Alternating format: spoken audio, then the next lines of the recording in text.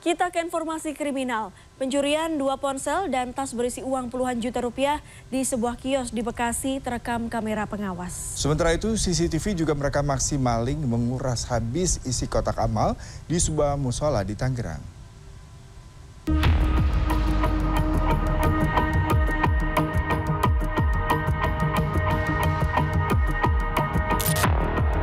Memanfaatkan kelengahan korban yang lupa mengunci rolling door, maling mencuri telepon seluler yang sedang dicas, serta tas berisi ponsel dan uang 9 juta rupiah. Pencurian di kios pemotongan stiker kendaraan Jalan Kodam Cikarang Selatan Kabupaten Bekasi, Jawa Barat ini terjadi Senin subuh. Senin siang rekan korban menjelaskan saat beraksi korban sedang terlelap tidur setelah bergadang hingga pukul 3 dini hari. Ia menduga pria itu mengetahui kondisi rolling door yang tidak terkunci. Korban melaporkan kasus pencurian ini ke Polsek Cikarang Selatan.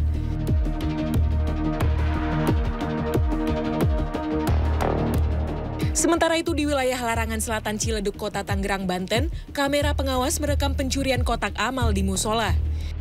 Saat beraksi, pencuri menggunakan sarung untuk menutupi wajahnya. Tak butuh waktu lama, pria yang membawa tas kecil ini langsung menjebol dan menguras isi kotak amal.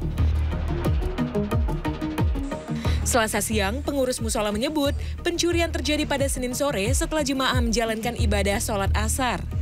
Kasus pencurian ini belum dilaporkan oleh pengurus ke polisi. CCTV merekam gerak-gerik mencurigakan yang dilakukan seorang pria di salah satu poli RSUD Dr. Yusuf SK, Kota Tarakan, Kalimantan Utara. Ia terpantau mengambil sesuatu dari tas plastik milik pasien yang sedang berobat. Sementara itu seorang wanita yang sempat menyadari ada yang hilang di tasnya tidak berani menanyakan kepada pria yang tampak tenang tersebut. Aksinya yang terekam CCTV membuat petugas keamanan melaporkan pencurian ini kepada polisi. Dalam konferensi pers yang digelar oleh pihak reskrim Polres Tarakan selasa sore terungkap, pria itu juga mencuri ponsel di tempat hiburan malam. Ia mengaku hasil penjualan ponsel digunakan untuk memenuhi kebutuhan sehari-hari. Tim Liputan CNN Indonesia. Aksi pencurian sepeda motor yang dilakukan oleh dua pria di Sidoarjo, Jawa Timur berhasil digagalkan oleh seorang wanita sang pemilik motor. Sementara di Kabupaten Bogor, Jawa Barat, beberapa siswa SMK melaporkan oknum guru yang melakukan kekerasan terhadap sejumlah siswa. Selengkapnya kami rangkum dalam Kriminal 24 jam. jam.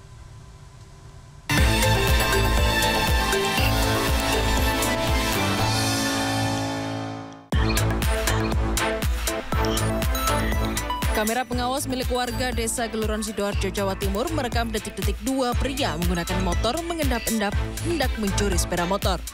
Saat berupaya menggasak sepeda motor, aksi pelaku diketahui korban. Korban pun langsung menarik sepeda motornya dari tangan pelaku.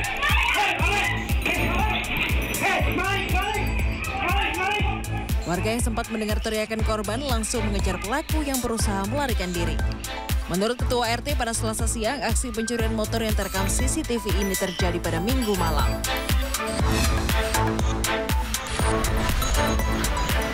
Beberapa siswa dari salah satu SMK swasta di Cilengsi, Kabupaten Bogor, Jawa Barat, selasa sore melaporkan dugaan kekerasan yang dilakukan oleh oknum guru ke sejumlah siswa.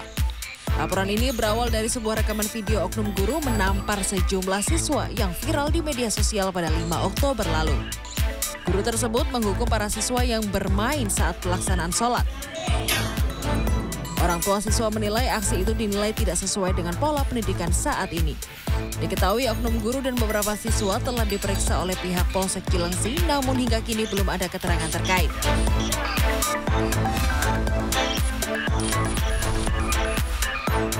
Aksi jambret kalung yang dikenakan seorang anak berusia 6 tahun terjadi di perkampungan industri kecil Penggilingan Cakung, Jakarta Timur, Senin malam. Aksi penjambretan terjadi saat korban asik bermain bersama temannya.